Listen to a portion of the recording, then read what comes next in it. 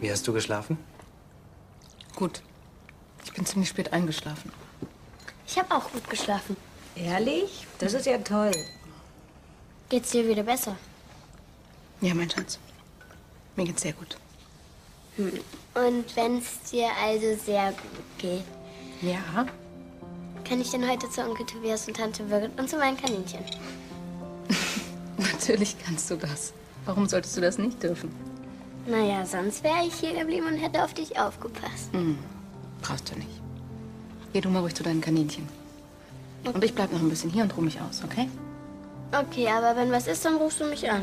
Auf jeden Fall rufe ich dich dann an. Also, wenn du willst, dann kann ich sie auf dem Weg zur Manufaktur auch bei Tobias vorbeibringen. Ja, das wäre doch toll. Gerne. Na, dann müssen wir aber jetzt los. Schaffst du das? Ich bin schon fertig. Tschüss, Mama. Tschüss, mein Schatz. Tschüss, Ben. Und, ähm, ruh dich aus. Mach ich. Husch, husch. Komm.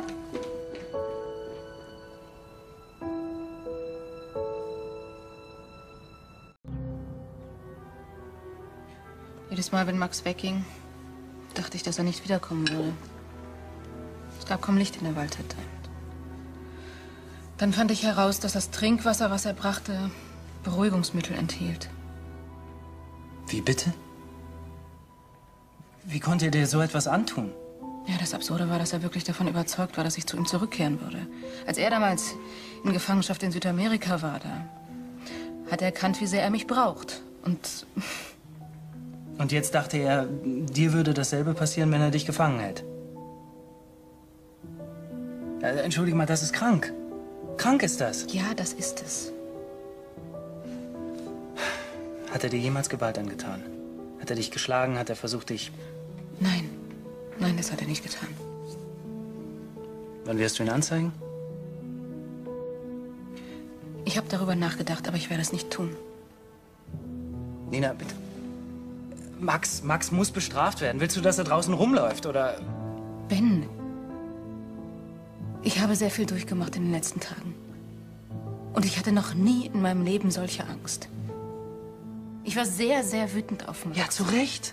Zu Recht. Jetzt nicht mehr, oder wie? Mir ist klar geworden, dass Max etwas anderes brauchte als ein Gefängnis. Max braucht medizinische Hilfe.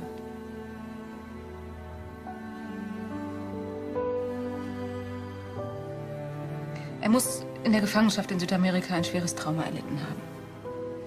Wurde er nie untersucht? Nach seiner Rückkehr. Nein, er wollte das damals nicht. Wahrscheinlich, weil er alles verdrängen wollte. Nina, bist du dir sicher? Max nochmal ins Gefängnis zu bringen. Das wäre fatal für ihn. Ja, das verstehe ich. Aber ich verstehe nicht, dass du jemandem, der dir so viel angetan hat, so viel Rücksicht entgegenbringst. Ben, ich habe Max mal sehr geliebt.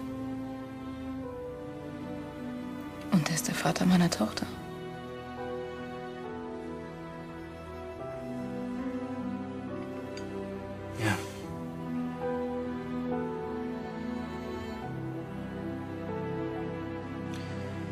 Ich glaube, ich muss ins Büro.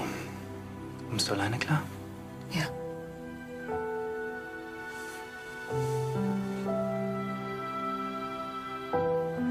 Ich komme zwischendurch mal vorbei. Mach dir keine Umstände.